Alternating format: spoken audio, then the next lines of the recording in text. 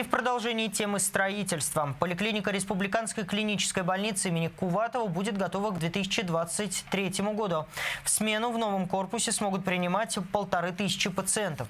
Премьер-министр Андрей Назаров, инспектируя стройку, отметил низкие темпы работ на объекте и поручил подрядчику ускориться, чтобы не допускать срывов намеченного графика. В Республиканском кардиоцентре премьер-министр проверил также строительство хирургического корпуса, рассчитанного на 135 коек.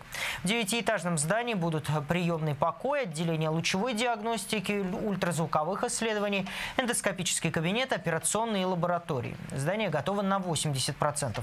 Сдача его запланирована на осень 2022 года.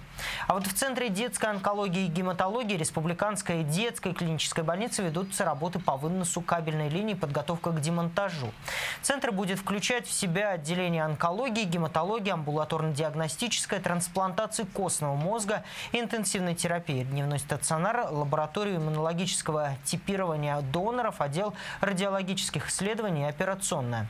Э, фонд центра составит 92 койки.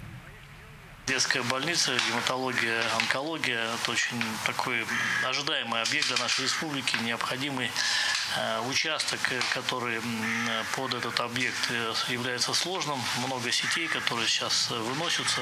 Это чуть осложнило начало строительства, чуть-чуть вот на старте происходит задержка, но при этом каких-то больших опасений по срокам строительства и сдачи этого объекта нет.